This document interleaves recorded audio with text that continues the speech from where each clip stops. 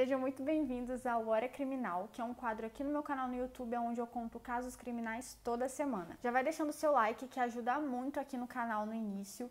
Também pode deixar comentários com sugestões para eu estar tá trazendo aqui para o canal, né, sugestões de vídeos novos. E é isso, gente. Chega de blá blá blá e vamos pro vídeo de hoje.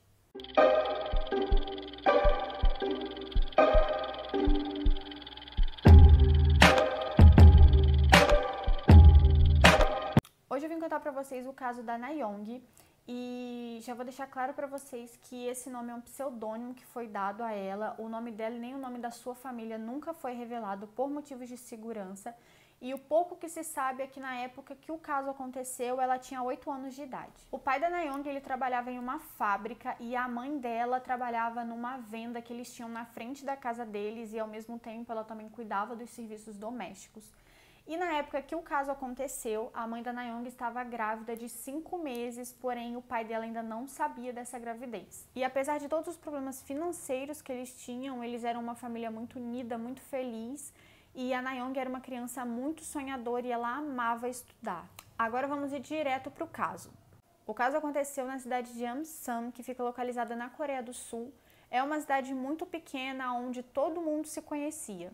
E justamente por conta de ser uma cidade pequena, uma cidade onde as pessoas se conhecem, ninguém tinha muito medo de que coisas ruins poderiam acontecer. Não se sabe ao certo o dia ou o mês que o caso aconteceu, só se sabe que ele aconteceu no ano de 2012. O caso aconteceu numa manhã muito chuvosa. Geralmente a mãe dela levava ela para a escola todos os dias, apesar de que era uma cidade bem segura, a mãe dela preferia levar ela.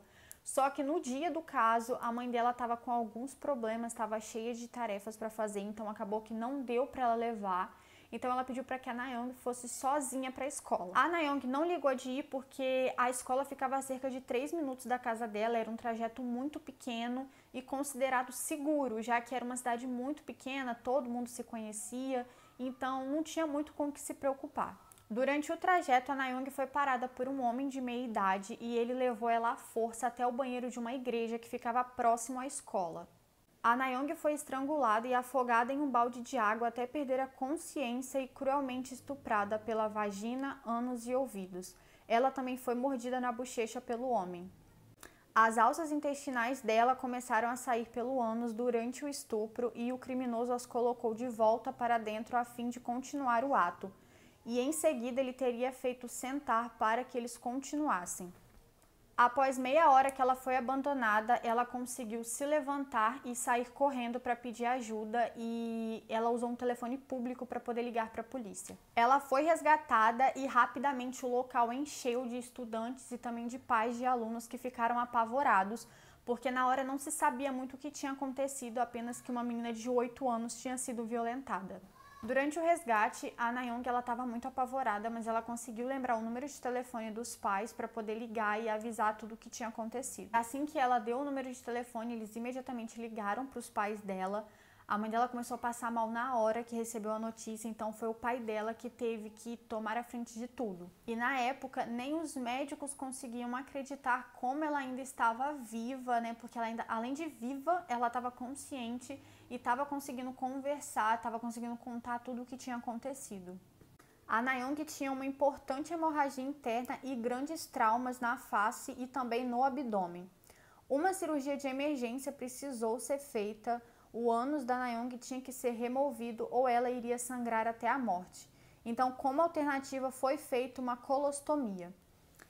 E como eu disse anteriormente, né, a mãe dela acabou passando mal, ela foi levada para o hospital, ela teve sangramento e quase perdeu o bebê. Inclusive, foi aí que o pai dela descobriu que ele teria uma outra filha. A Nayong, ela sentiu muita dor durante todo esse processo, ela tinha que receber remédios super fortes 24 horas por dia para poder aguentar, né, tudo aquilo que ela estava passando, toda aquela dor, fora toda a dor psicológica também que ela estava sentindo.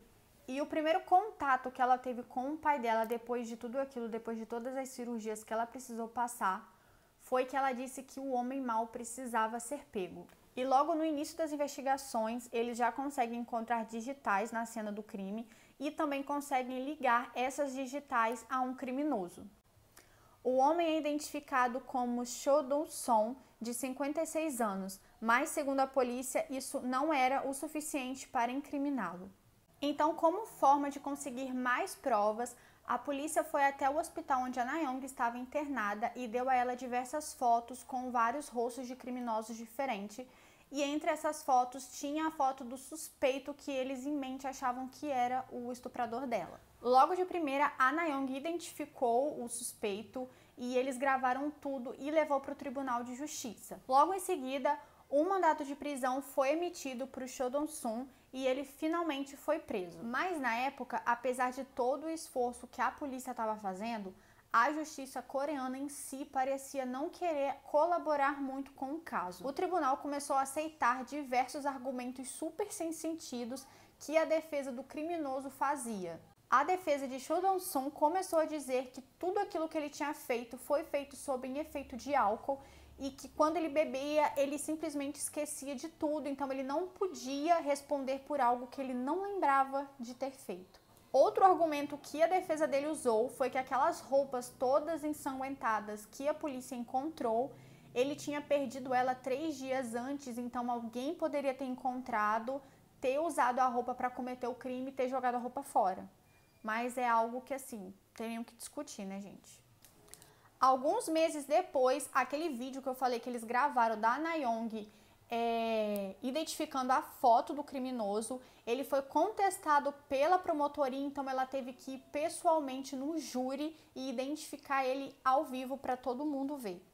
E como vocês podem perceber, em nenhum momento a dor e o sofrimento dela era respeitado, em nenhum momento, inclusive diversas vezes acontecia de parecer que eles estavam duvidando de tudo aquilo que ela estava falando, como se o Shandong Su ele fosse apenas uma vítima e não ela que havia sido estuprada.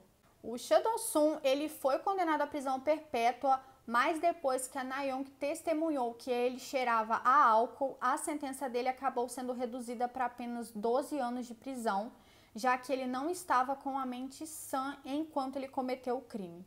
E por conta de tudo isso que a promotoria fez a Nayong passar logo após ela ter acabado de sair de uma cirurgia, os pais dela resolveram entrar com uma ação judicial contra o Estado. Então, por conta disso, o governo na época teve que pagar cerca de 13 milhões de wons para a Nayong e para a família dela por conta de tudo aquilo que eles tinham feito ela passar. Depois que saiu a notícia de que ele não pegaria mais prisão perpétua e sim apenas 12 anos, é, muitas pessoas ficaram enlouquecidas com essa história, ficaram muito chocadas. Então, várias petições foram feitas para a Casa Azul, lá na Coreia do Sul, para que um novo julgamento acontecesse. Mas isso nunca, nunca foi ouvido, nunca aconteceu. O Cho Dong-sung já cumpriu a sua pena, ele foi solto no dia 13 de dezembro agora de 2020.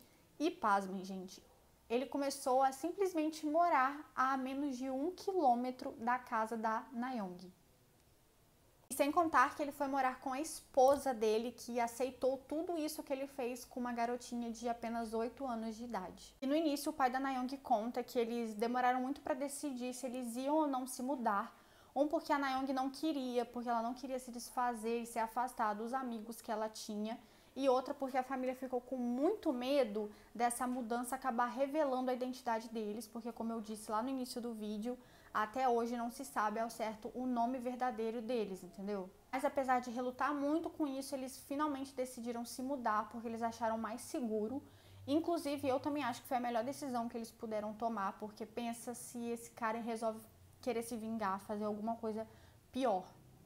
Se bem que não tem como piorar o que ele fez, né? Mas enfim. E esse foi o caso de hoje, gente. É um tipo de caso que tem aqueles finais que eu não gosto muito, porque eu não queria que tivesse sido assim, eu queria que ele tivesse pegado prisão perpétua e pagado realmente pelo que ele fez. Porque, na minha opinião, 12 anos foi muito pouco. E é isso, gente. É, deixa o like, né, que ajuda muito agora no início, que o canal ainda tá em fase de crescimento. E muito obrigada por terem assistido o vídeo até o final. Um beijo e até a próxima.